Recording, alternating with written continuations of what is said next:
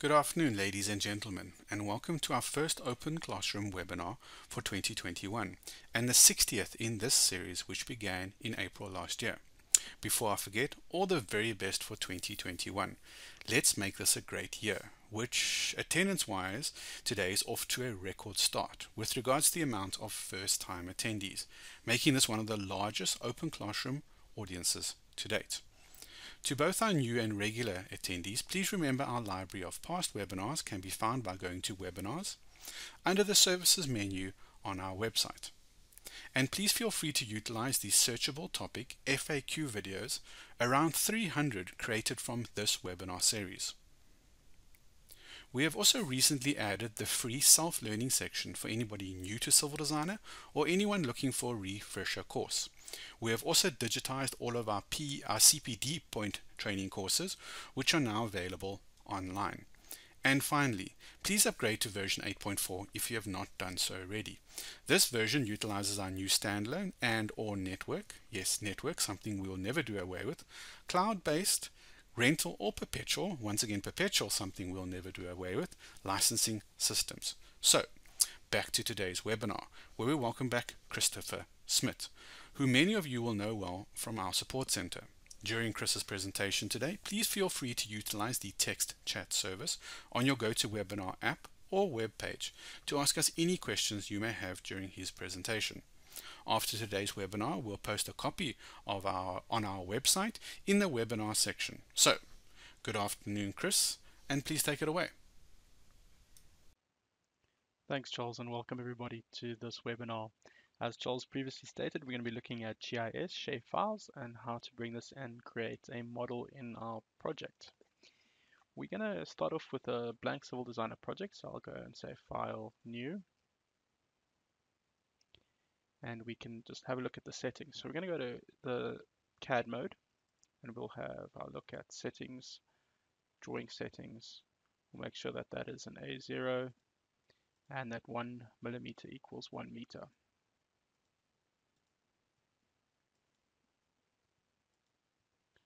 Great, I'm happy with those settings and we can also change that to surveyor.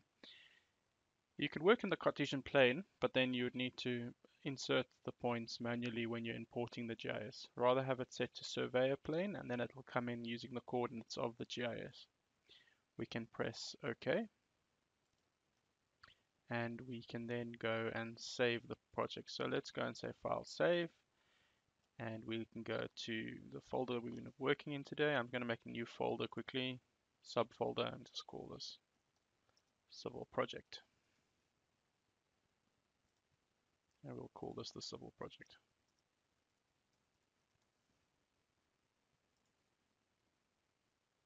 Um,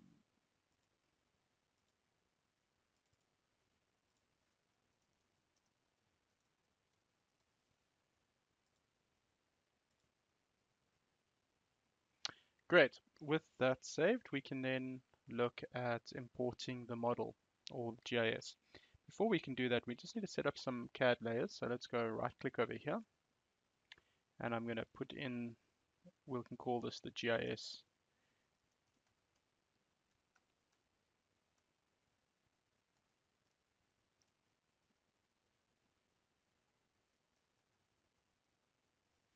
the cadastral boundaries, So we can also have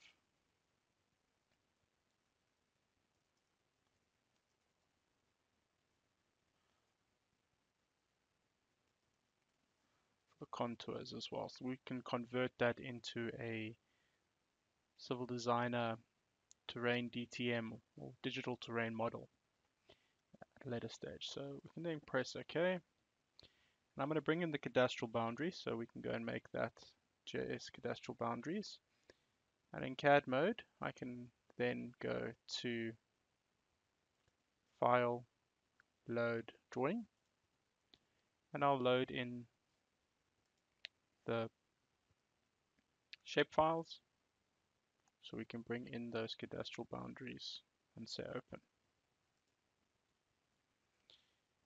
This is all the text that's all attributes to the, the shapes that you're going to bring in. I only want to know the erf numbers at this stage. So we can choose to bring in the erf numbers, I highlight it and I select to send it across. And um, we can ignore the heights at this stage. That's three millimeters. Maybe we want to make it three, three millimeters in height. We can then say, okay. It'll ask us if you want to import it as filled polygons, otherwise as closed polylines. I'm going to choose closed polylines, so I'm going to say no. I'll press ZA and it'll zoom to this location. I always prefer to have a quicker zoom, so I will go to my name viewports. I'll say named, viewport 1 is fine, and I'll draw box around it and then I can press the red tick and I can close that. So if I've pressed R and I now can I can now press 1 and it'll zoom to that window whenever I want to go there. Can see the text height is fine. Everything seems to be okay.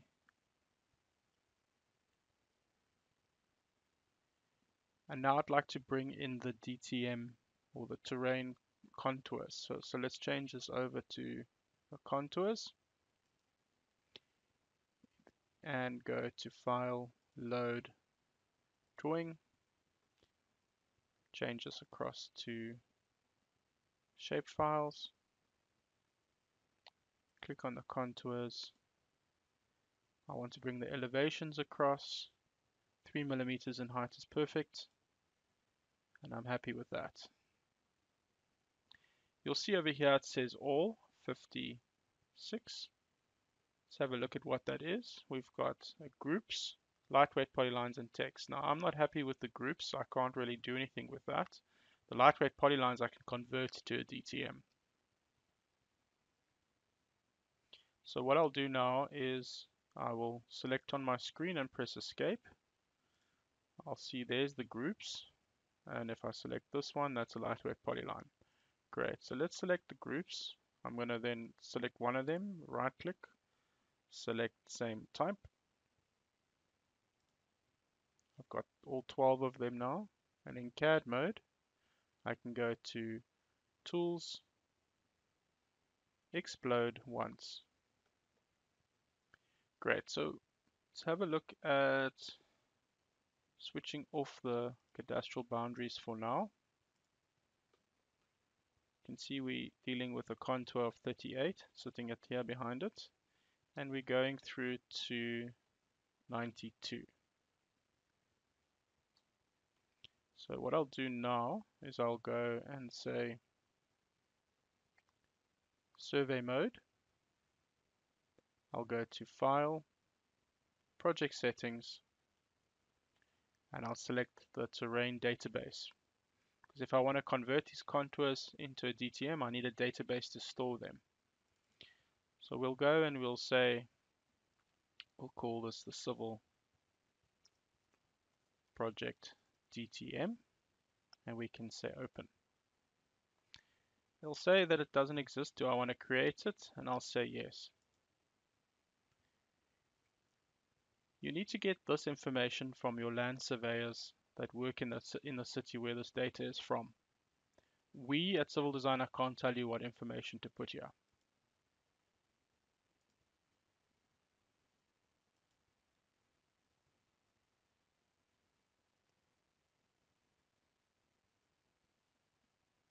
I'll now go and convert that. So I'm going to go in survey mode. I'm going to go to File,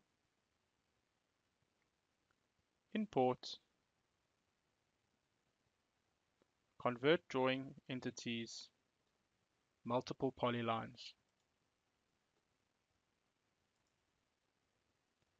I'll zoom in over here to get the 38 and then I'll zoom out of the whole project because I want to scan the whole project. But I know that that's where the um, 92 is contour. So I'll make sure I'm passing over it I'll change that to 38 and I'll uh, do intervals of 2 and that gets the 92 I'm happy about that we can't use the, the elevations from polyline because these lightweight polylines are not populated with an elevation in the properties. The point name is up to you. So destination surface for, for our project, we're going to do it in surface one, but you can save it to anyone. And then generate as, we're going to generate as feature lines um, so that the contours become feature lines. And then when we fill in with break lines, they will never cross over those feature lines. I'll select the height so that I can see what's been processed. Over here, I see a couple haven't been processed, up to 50. These never crossed over that perpendicular to that line that I drew, so they would not be processed. So we know that it's from here. Let's go and put those through. So I'll go back to importing it again. Screen output is fine. Let's make sure that we start here. And that would be 52 feature lines and I press OK. So it scanned those as well, brought those through. We can switch off these and switch on the contours. Let's turn off the CAD for now. So I'll go over here, right click over there. I'll make zero the current layer and we can switch off this information now. Here you can see I've got the triangles on, the break lines are being shown, and I want to fill in between the break lines with the fill in between the feature lines with the break lines. I'll go to terrain mode and I'll go to model, triangulate on disk. I'll process surface 1 and I'll use the maximum line length of 30 meters and we'll say OK. Here you can see it's processed that and put break lines in between the feature lines for us. We can then switch that off and put the contours on and now you can see you've got the quick contour showing. So we're happy that this is now brought through and we can work with this in uh, modeling other parts of our project. So we can put the cadastral boundaries back on if you wish and you can view those as well with the contours.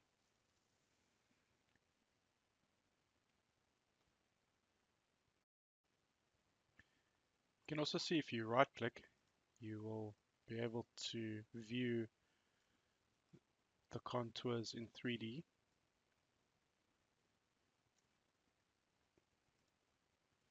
Let's go ahead and create the sewer network, but first we need to set up the GIS for importing. I like to have a different CAD layer for each uh, aspect of my sewer model and let's have a look at that. So if we add put the GIS we'll call it uh, GIS SE for the sewer and then we'll call this the pipes.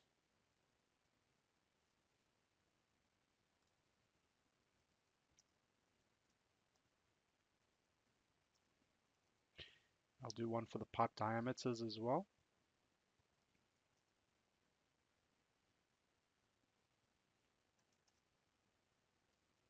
manholes invert level or invert levels plural. We also need a um, CAD of the sewer um, outfall so that when it's modeling it knows where to drain the sewage towards. This is something that we do manually and these will we're going to attempt to bring this information from GIS in.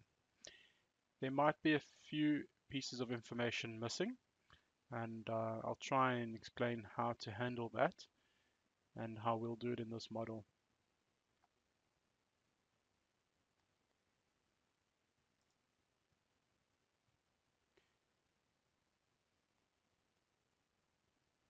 I'm going to switch off the cadastral boundaries for now. I don't need that information and I'm going to bring in the pipes. So let's make the sewer pipes the, the, the current layer for now. And we'll just go to CAD mode and then we'll go say file, load drawing. We'll change that to shape files and we'll bring in the sewer pipes. Would like to bring in some other information, so I'm going to choose to also bring through the nominal diameter as text and 3 millimeters in height is fine. You'll notice over here that it's brought in the text as well.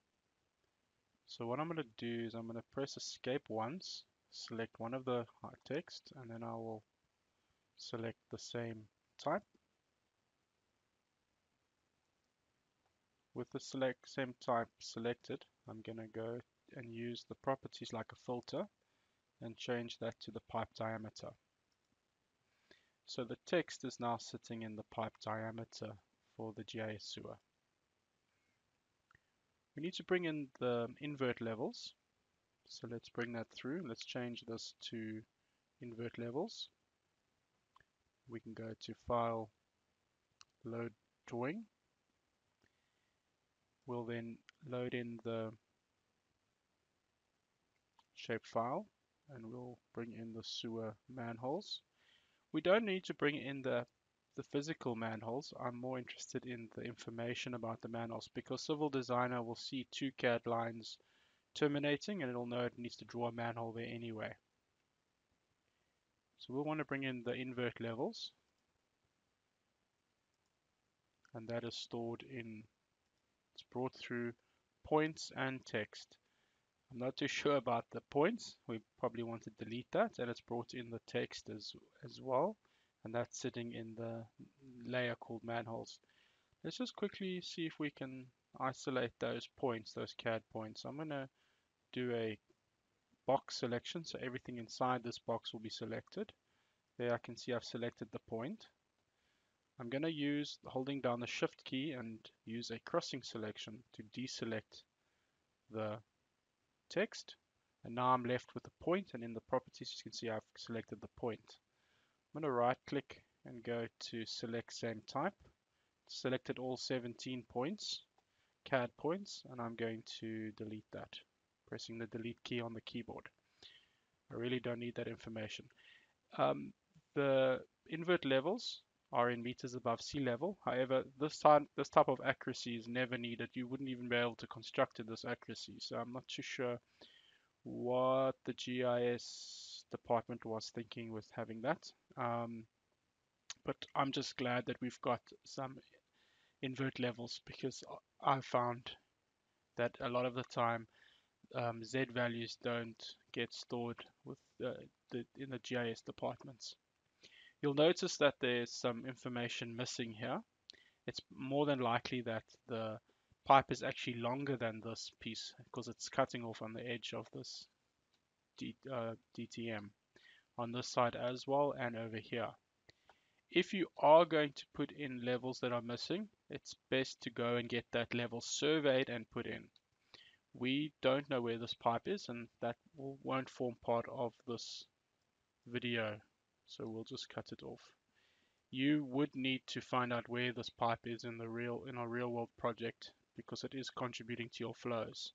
So you would need to actually go and find more information on these pipes and get those invert levels surveyed by a prof survey professional.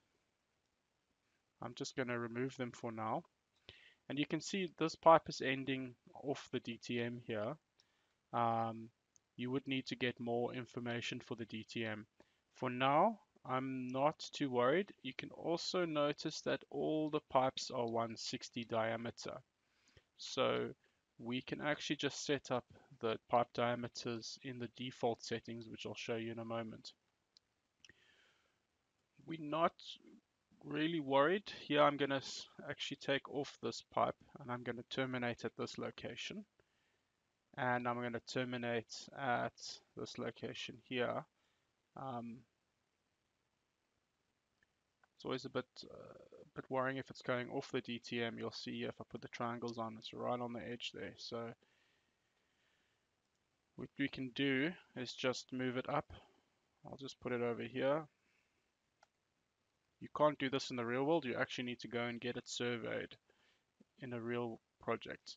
Great. Now what we need to do is create the outfalls. Remember this is a manual process just to show the computer where the lowest outlet is on your project. And in CAD mode I can go to draw, circle, and I'll do center with a radius. So there I can do a one meter radius, press the green tick, and well that's a one meter diameter. That's fine. And I'd like to snap to the end here.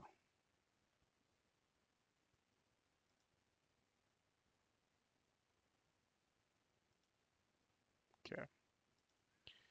just press J and enter. So let's put it in there at the end of this CAD line. I'll come back and check it in a moment and I'll press J and enter here. Here you can see it's on the center or on the edge of the line and here it's on this edge of this line here. Great, and those are both sitting in the layer called CAD outfall. And I don't have an invert level for this uh, line over here. So we would need to actually get a invert level surveyed and placed in here if we want to be accurate. For now, what I'm going to do is I'm going to go and copy this base point, press J enter, and I'll paste it over here, J enter, and we'll make it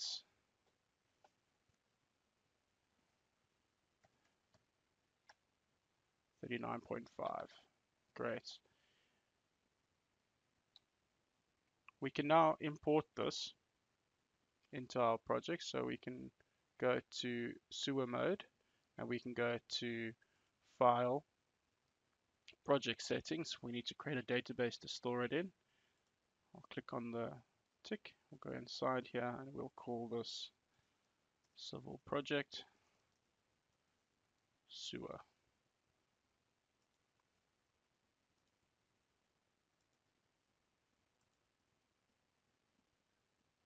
we can save our work so far and we can then import it. Before we import it, remember we, um, we spoke about the 160s, all being 160s, so you can convert using the layers or you can go to your default settings, which is edit default settings, and you can change all your pipe types or diameters to be 160. Auto sizing means it will choose a pipe size for you based on capacities, but you can fix it in our case. We are modeling an existing network, so we could choose the 160s and say, okay. We can then bring in the node names if you wish. Let's go and have a look at what those look like, if there's anything of use there. So we can go and right click here. We can add an extra layer called GIS SE um, manhole names. Can make it the current so that it'll update there. And let's go and see if we can bring in those. So I'm going to go to load drawing, change that to shapefiles, select the manholes,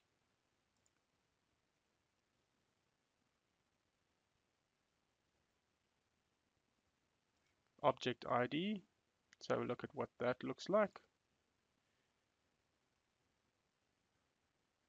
Okay, the object ID is quite long. If you want to work with that, that's fine. Let's see if we can work with that. So I can now go into sewer mode and we can go to our def default settings under edit we can change those pipes to 160. We can then change the pipe diameters to 160 and we can say OK. So that when it converts, it will convert to 160 unless otherwise stated in the CAD layer. So here you've got 160 stated in the CAD layer. You could make this a 200 if you wished.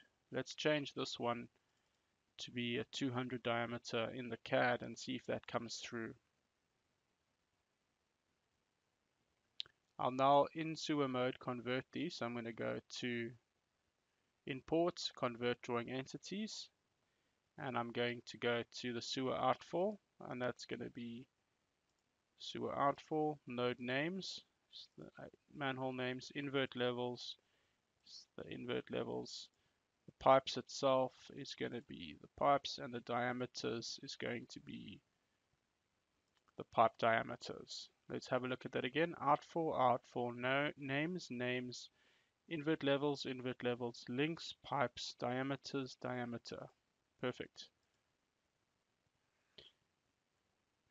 Great, with it converted into a network, let's just see if everything has come through. So I'm going to go to my display settings. I'm going to go to my link data.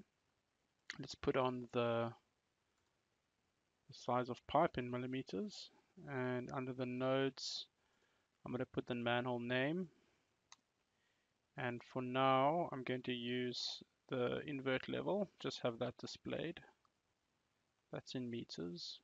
Just put the invert level. Let's have a look. So it looks like the invert levels have come through. Um, it does round it. You'll see there doesn't bring in the whole thing. And that's because we don't work to that sort of level of accuracy ever. You'll never be able to get any contractor to construct in that level of accuracy anyway. It's brought through the names. Uh, you'll notice the manholes that don't have names get assigned a name. Let's have a look at that uh, diameter. Here you can see 160 is the default, but when we've chosen a different diameter from the defaults, it has picked up and used that other default. One important thing to just take note of when dealing with importing, uh, whether you're importing through using the CAD, is that the CAD needs to match up with your link table. So if we go to edit and we go to link types, if we're using the UPVC, then if you go to your sizes, here are the sizes that need to be shown up in the CAD as well you can't use any CAD that won't correspond to the nominal diameters. I hope that was insightful. Um, as you can see from this, there's no gold standard when it comes to using GIS data, and that's why it's important to always bring the GIS data into a CAD so that you can really thoroughly investigate it and see what you're actually dealing with, and then convert it to either the DTM or the sewer, stormwater, or water networks. Thanks everyone for your time. I hope this helped. Have a great day further. Back to you, Charles. Thank you, Christopher. That was great. And thank you very much to all of you who attended today. Please remember to ensure that you're always using the latest version of Civil Designer, downloadable here on our website at Updates under the Services pull-down menu. Additionally, please remember that if you'd like any further information with regards to Civil Designer, or if you would like to request future webinar topics, as was the case today, please email us using the email address listed on your screens right now. Once again, thank you very much for your time today. Have a great afternoon and goodbye for now.